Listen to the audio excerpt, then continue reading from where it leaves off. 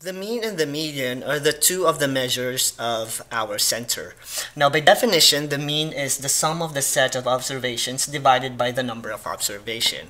Now, in statistics, the mean is usually denoted by this symbol right here, which is our x bar. Now, by definition, median is the midpoint of a distribution which gives a number such that about half the observations are smaller and about half are larger. Now we're going to talk about the properties and the differences of the mean and median as the measure of our center. Now, mean, by definition, and its property is a non-resistant measure of the center, whereas the median is a resistant measure of the center.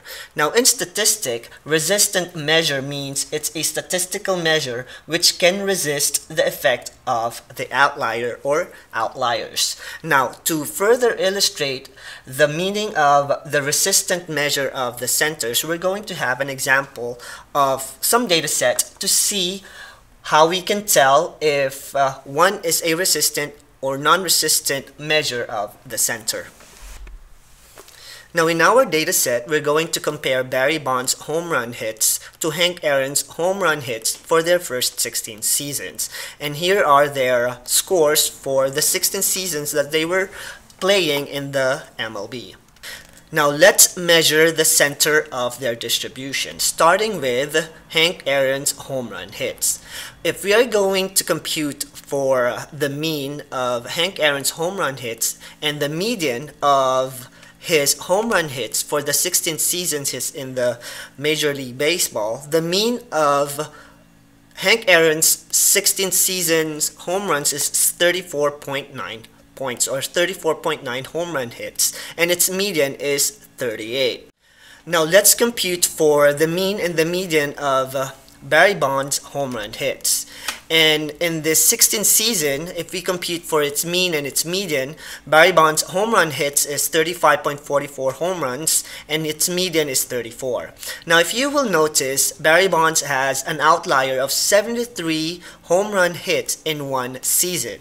Now, if we're going to get rid of that outlier over there and compute for the new mean of this distribution, you will notice that the value of the mean is now 32.93 which is a big change compared to the original mean of 35.44 with the outlier. Now, if you will see the median, the median did not change at all. So even if there is an outlier or if we get rid of the outlier, the value of the median is still the same. And it's because the median is said to be a resistant measure of the center. And that is basically how we can explain the difference between a resistant and non-resistant measure of a given given center.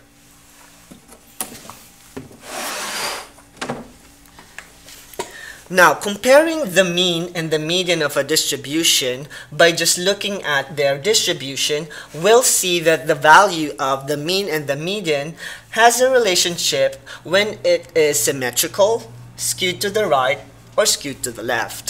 Let's focus our attention on our symmetrical distribution right here and you will see that the value of the mean and the median they're both right here at the center because the value or the numerical value of the mean is approximately equal to the numerical value of the median if the distribution is symmetrical.